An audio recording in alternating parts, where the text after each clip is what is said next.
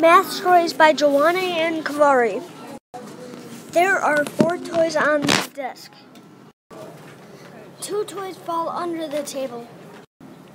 Now there are two toys left on the desk.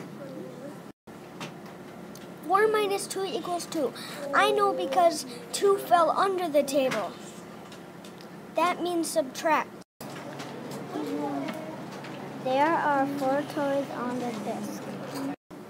Two toys under the desk. 4 plus 2 equals 6. I know because it's said all together.